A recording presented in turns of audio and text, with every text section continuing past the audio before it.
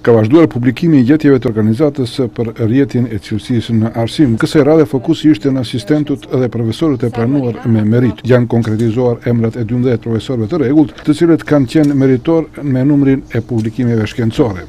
Sot ORCA paraqet 12 raste të profesorëve të rregullt, të cilët janë avancuar me meritë, sa i përket punimeve shkencore që në këtë rast është 5.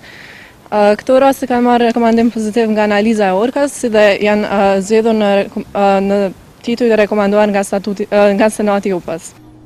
Emrat e profesorëve meritorë në bazë të numrit të publikimeve shkencore sipas kësaj organizate janë Visar Morina, Avdullah Hoti, Eda Vula, Blerim Kamberi, Fehmi Zeqiri, Vjollca Sahatçiu Meka, Enver Hamiti, Ymer Mekaj, Fatbardh Gashi, Fatmir Faiku, Hasan Ahmeti dhe Shpend Elezi.